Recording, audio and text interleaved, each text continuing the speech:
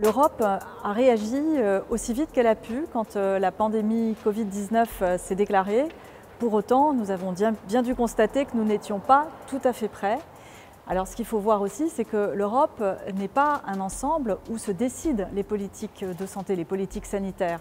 Elle relève de la compétence des États. Ce sont les États qui conduisent leur politique de santé et qui organisent leurs services de santé. L'Europe joue un rôle, c'est un rôle plus large, par exemple en favorisant des programmes de recherche, euh, recherche contre le cancer, en poussant quelques politiques, politiques de prévention comme la lutte contre le tabac ou en faveur de la nutrition. Euh, et l'Europe avait aussi un ensemble, euh, une agence, le CDC, en charge de la gestion des crises, qui a malgré tout pu réagir au moment de la pandémie, mais qui l'a fait dans la limite euh, des compétences et des moyens qu'il avait à ce moment-là et dont on s'est tous aperçus qu'il fallait les renforcer.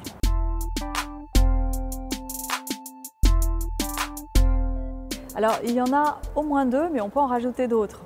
En matière de réponse aux crises, il y a deux domaines qui vont être euh, le fait de renforcer justement la capacité de surveillance, hein, de surveillance épidémiologique.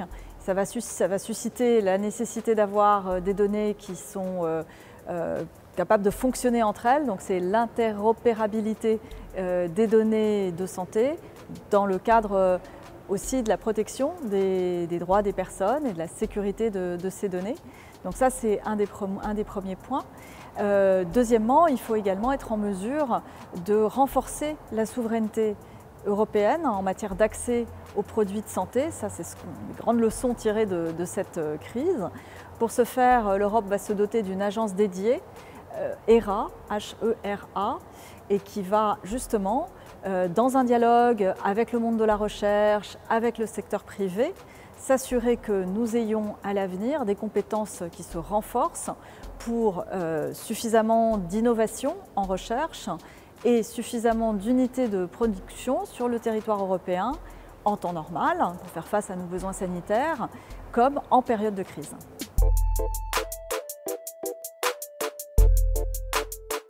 On a vu que euh, même si nous n'étions, comme le reste du monde, pas formidablement préparés à la pandémie telle qu'elle s'est déclenchée et telle qu'elle s'est déployée, euh, l'Europe a fait preuve de beaucoup de réactivité et beaucoup de solidarité.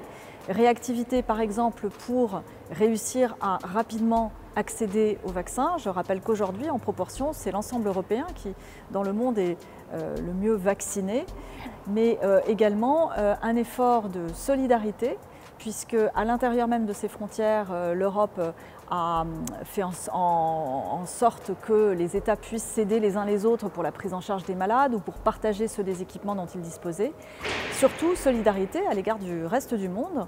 Aujourd'hui, certes, l'Europe est bien servie en vaccins, elle est bien vaccinée, mais elle a également exporté un très grand nombre de vaccins en dehors de ses frontières également par un mécanisme de, don, donc euh, euh, don à la fois de financement euh, pour COVAX, qui est le mécanisme mis en place par l'OMS pour permettre la vaccination de tous les pays, et don sous forme de partage des doses reçues sur le territoire européen et qui ont été réenvoyées dans les pays qui en avaient besoin.